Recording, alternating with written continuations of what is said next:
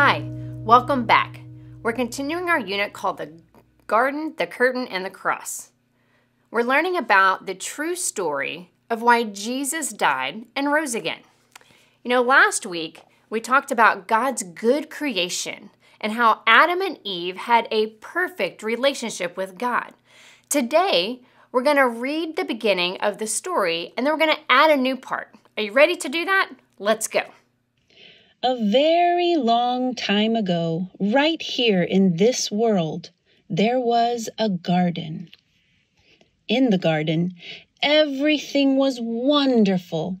The world was full of laughing and playing and smiling and fun. There was nothing bad ever. There was no one sad ever. And best of all, God was there. He made it all. He was in charge of it all. He loved it all. People could see God and speak to God and just enjoy being with God. It was wonderful to live with God. But then, one day, the people did a terrible thing. They decided they didn't want to do what God said. They decided they wanted a world without God in charge. God calls this sin. Sin spoils things, so sin has no place in God's wonderful garden. God said to the people, You can't live with me in my garden anymore and he sent them outside. To show the people they had to stay outside, God put some warrior angels in front of the garden. The angels were like a big keep out sign. What was the terrible thing that the people did? Right. They didn't want to do what God said. They, they didn't want God to be in charge. Not doing what God says is sin. Sin is anything that we think, we say, or we do that doesn't please God. Let's read the story from the Bible. We're going to go to Genesis chapter 3. If you have your Bible, you can open with me. It'll also be on the screen. There we go. Genesis is at the beginning of your Bible. Chapter 3, we're going to start in verse 1.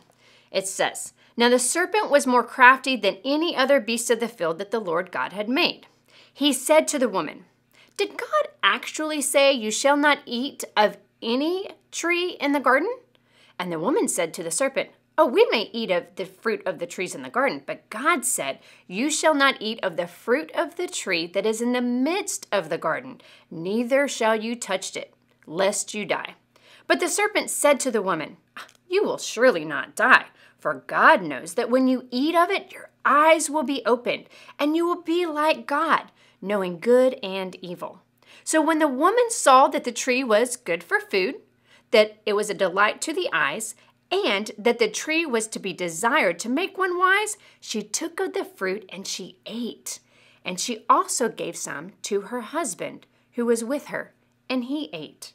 Then the eyes of both were opened, and they knew that things were different.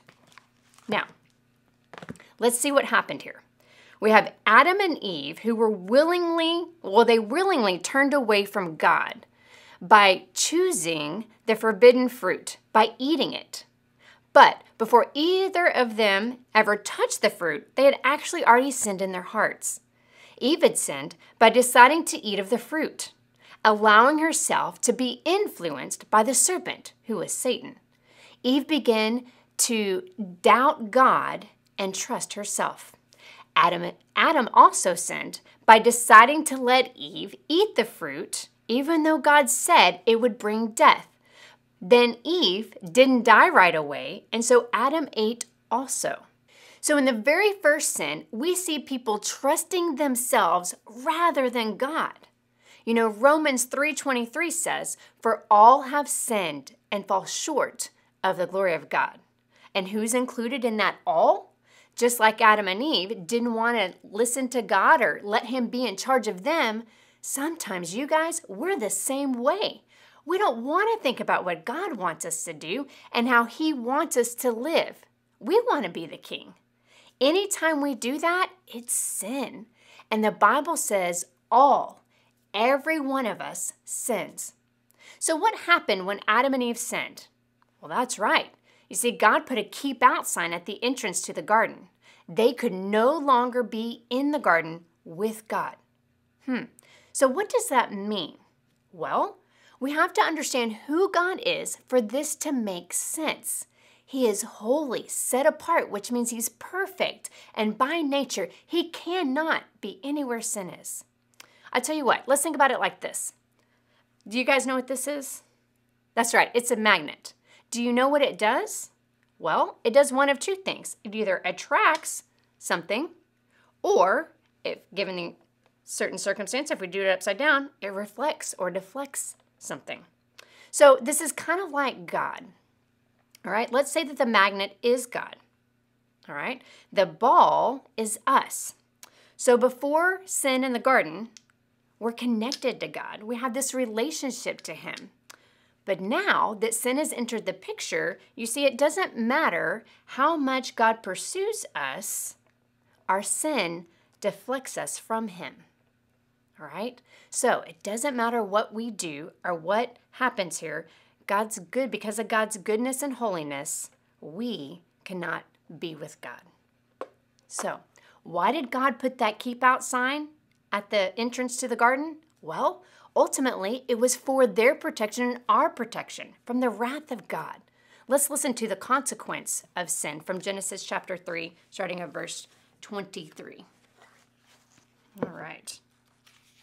Therefore, the Lord God sent him out of the Garden of Eden to work the ground from which he was taken. He drove out the man, and at the east of the Garden of Eden, he placed the cherubim and a flaming sword. This is what we might call the bad news promise. God kept his promise. Adam and Eve died in their relationship and friendship with God, and then eventually died physically. Do you remember before sin, we talked about how we had a connection with God? Adam and Eve did. But now that sin has entered the world, we no longer have this connection with God. So where's the gospel or the good news in all of this? Let's read John 3:16 together. For God so loved the world that he gave his only son that whoever believes in him should not perish but have eternal life. God promised that there would be a rescuer. And who would that be? Jesus. So the bad news promise was that disobeying God would cause separation from God. But the good news promise was that God had a plan to reconnect us to God through the promised rescuer. Why don't you pray with me? God, we're so sorry for our sin we struggle with it. We know that we don't always say the right thing, we don't always make the right choice, we don't always make the right decision. But you are so good that you sent your son Jesus to die for us, to come and take the punishment. And so, Father, we just confess that we're sinners and we need you. We need your help to do the things that you want us to do. And so we love you and we praise you and we thank you. In Jesus' name. Amen.